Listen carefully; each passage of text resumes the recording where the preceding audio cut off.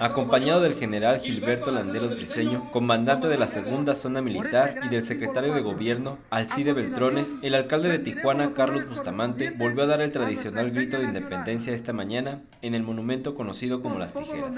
La breve ceremonia, que comenzó a las 9.30 horas, culminó a tiempo para comenzar el desfile en punto de las 10 horas. Las Fuerzas Armadas encargadas de encabezar el desfile arrancaron algunos aplausos. Unidades de la Policía Municipal, así como elementos a pie del grupo especial en el que se incluían perros entrenados, también tomaron parte en el desfile.